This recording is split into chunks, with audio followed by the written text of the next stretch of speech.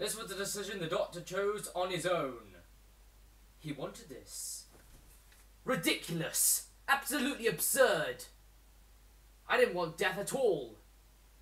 But I'll tell you what is ridiculous. This court. You're all believing his lies. And yet, I know who he is. And yet, all of you know who he is. And yet, you're allowing him to prosecute me. You know full well as I do that you can't prosecute the same person. At the same time. The person who committed the crime. I'll tell you what is absolutely absurd and ridiculous.